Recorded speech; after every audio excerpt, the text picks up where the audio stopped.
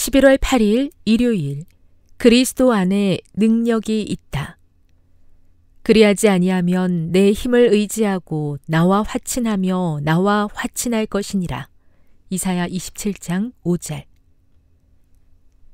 겸손하게 그리스도에게 배우는 사람, 곧 주님 앞에 기도하는 마음으로 행하는 사람을 원수는 결코 이길 수 없습니다.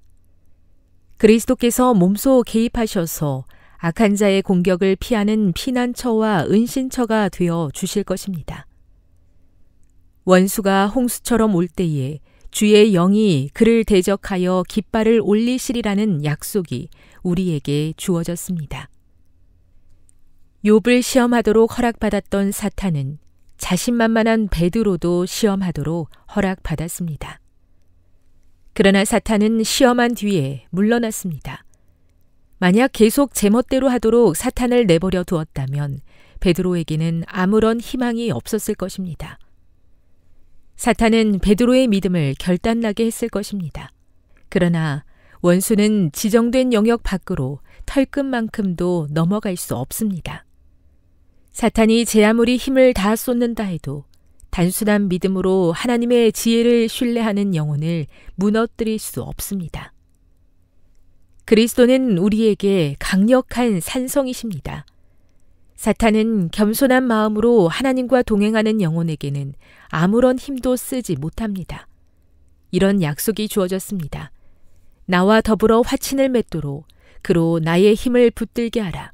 그러면 그가 나와 더불어 화친을 맺으리라. 이사야 27장 5절 한글 킹제임스 시험받는 모든 영혼을 위한 완전하고 온전한 도움이 그리스도 안에 있습니다. 모든 길에 위험이 깔려 있지만 온 우주와 하늘이 경계를 서고 있습니다. 그렇기에 누구도 자신이 감당할 수 있는 그 이상의 시험을 당하지 않습니다. 끊임없이 억눌러야 할 강한 기질을 지닌 사람이 있습니다. 하나님의 성령께 다스림을 받는다면 그 기질은 복으로 작용하지만 그렇지 못하면 저주가 될 것입니다.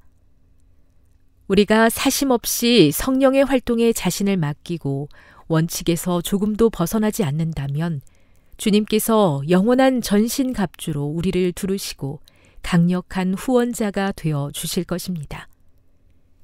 예수님을 바라보며 우리 자신을 내맡긴다면 그분은 아무리 위급한 상황에서도 절대로 우리를 놓치지 않으십니다.